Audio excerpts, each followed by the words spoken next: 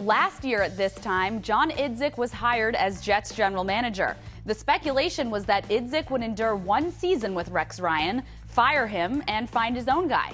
Well, surprise, surprise, the Jets have signed the head coach to a contract extension.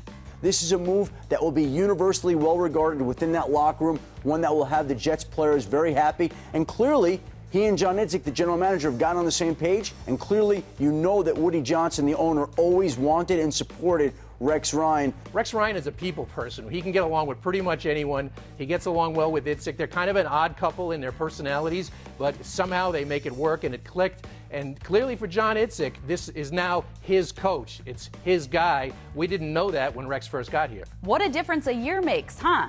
On to specifics of the deal, Manish Mehta points out that the Jets can effectively opt out of the contract after the 2015 season because any salary Ryan is owed beyond that is not fully guaranteed. So, in essence, this agreement is win win. The team can fire Rex if expectations aren't met, but the deal still gives him some room to operate. The idea that Ryan could be around for at least two more seasons could help recruit free agents.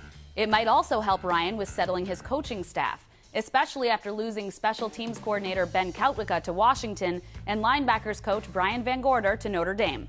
Slowly but surely, this organization is getting their act together. But as ESPN Radio's Mike Greenberg explains, the team needs an identity beyond their head coach. Rex Ryan is the most recognizable figure on the Jets. I hope that changes. Uh, I hope that the quarterback becomes that going forward. But right now, there's no question when you think the Jets, you think Rex Ryan.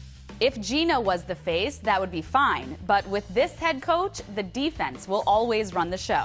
I'm Stephanie Cohen for Recapr. Get the whole story here.